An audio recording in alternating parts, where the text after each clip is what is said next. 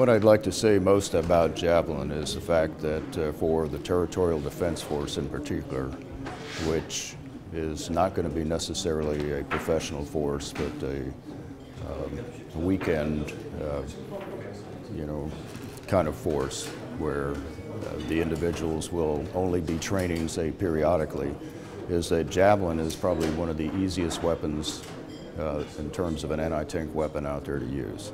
It employs fire and forget technology, which means that the gunner need only be trained up until the point of trigger pull, which means that it's very, very simple to train. In fact, all a gunner really needs in, to be order to, in order to be certified and become proficient with Javelin is, is roughly five days of training.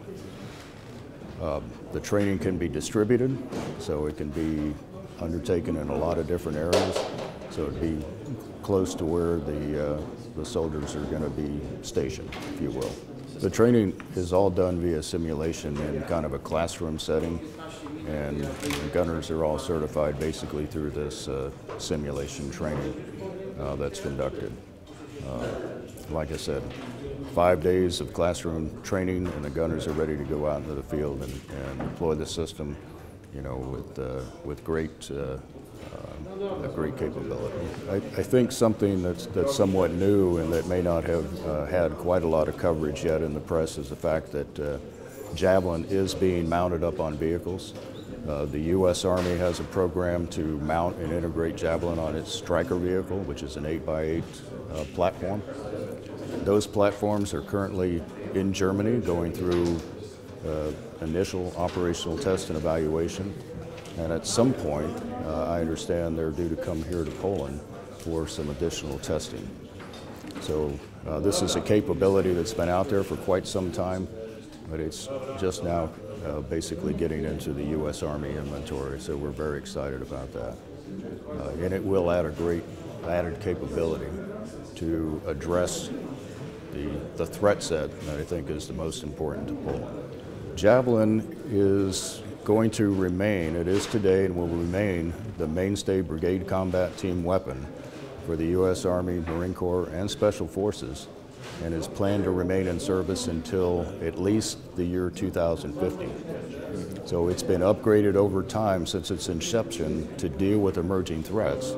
And since it's going to remain in inventory for that additional length of time, uh, Javelin will continue to be upgraded so that it remains viable against uh, the emerging threat. The next modification is actually being studied right now. Uh, there are a number of propositions that are being put forward based on what the, you know, the potential emerging threat is, whether there are any capability gaps that uh, maybe need to be addressed. Once those are identified, then I think you, you know there will be some R&D that will take place, and uh, it's very likely that there will be some future upgrades to the Javelin weapons. Another thing about Javelin is, is that it is in use by U.S. forces here in Poland, so there is a pretty significant interoperability benefit associated with that. It's also in use by a number of other NATO countries and other countries here in the region. So the ability to make use of that interoperability to enhance operations, logistics, et cetera, is present here uh, with Javelin. So for Poland, our objective in providing a diverse array of missiles for Poland to create diversification for Poland, our objective is to provide a missile that we can get to them soon, uh, provide a quantity of missiles beyond that point because they'll need some missiles initially to test, at that point, we'll go in quantity, and then beyond that, we'll provide them, if they request it, the more advanced version of the missile. So what we see in providing Poland is three different answers. Something that they can get quick on some of the vehicles that they need and some of the missions that they need. Provide them the opportunity to have a larger portion of missiles in production. And then also to look at the best means to have the most advanced missile, which is going to be ready soon as well worldwide confidence in Hellfire now because of its operational use for all of U.S. forces and all of our partner nations, 26 different nations around the world, is in such high demand that our production numbers have gone up dramatically. and we're being asked to produce over 11,000 per year. Those numbers are going to be an advantage if Poland makes a decision soon, within the next couple of years. They'll be able to take advantage of those lower costs for those missiles because they'll be able to join in with US and NATO forces. The applications for Hellfire are even broader now.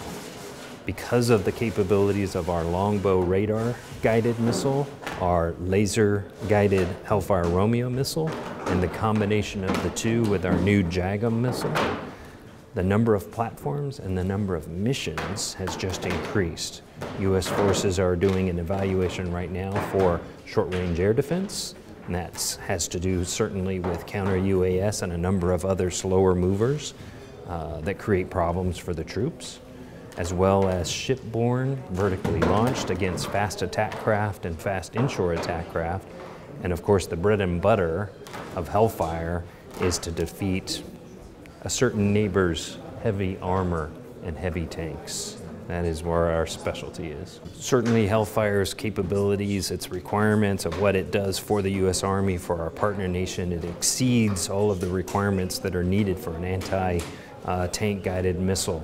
Uh, for this class of weapon, uh, it certainly goes at eight kilometers and beyond.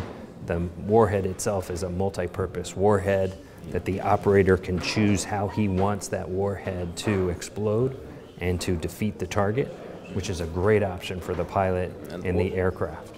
So the options are certainly anti-tank point detonation. You can have it explode and, and defeat uh, personnel in the open.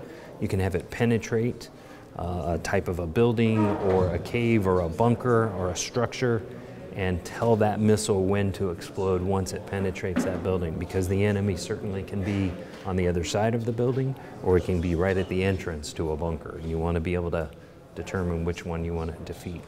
So our objective, and I hope through our years of conversation here with Poland, is to create an opportunity to have vehicles or helicopters that have multi-mission capability, which, which means having the same launching system that you can fire a couple of different missiles, the, the more advanced missile certainly when it comes, and the missile that's in production now, and having two different guidance sections on there allows the operator to say, well, if the weather goes bad, or if there is a problem on the battlefield, he can fire the one that certainly has the radar guidance.